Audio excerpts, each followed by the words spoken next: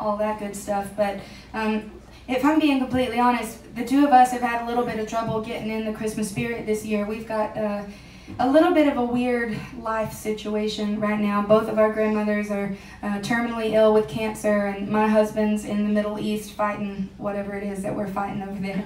And uh, so he's deployed until the spring, and so it's just a it's a weird time to be you know joyful and celebrating, and, and it's strange to celebrate a holiday when there are you know, things that you're a little um, forlorn about. But we decided when we came out to do this tour that we wanted to at least put one Christmas song into our show just because we were hoping it might help us get in the spirit because I haven't bought a single gift except for my sister because I'm a great sister. So, I bought yours too.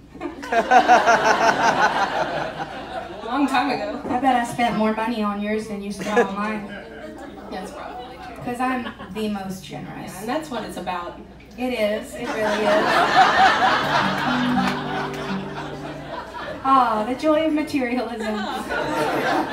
um, no, but we're gonna um, we're gonna sing this Christmas song because why not? We're here. We might as well, right?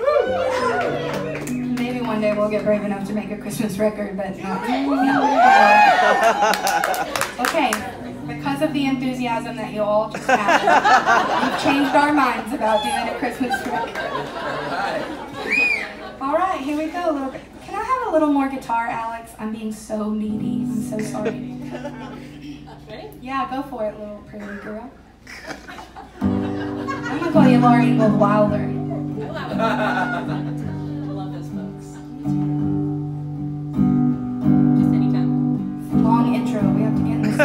What's your fault?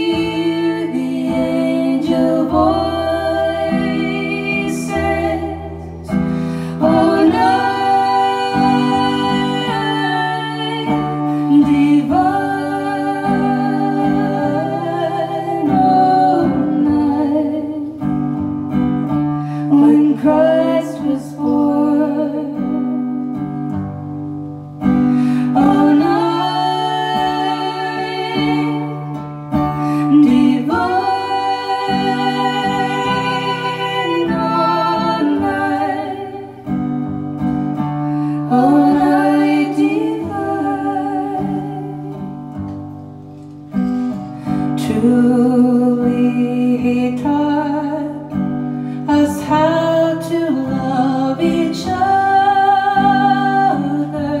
His law is love, and his gospel is peace.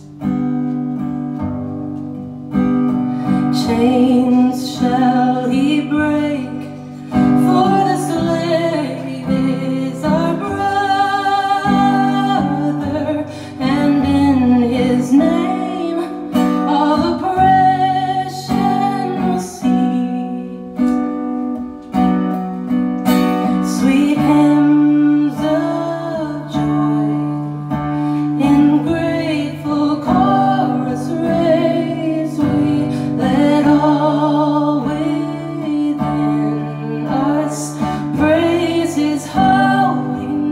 day.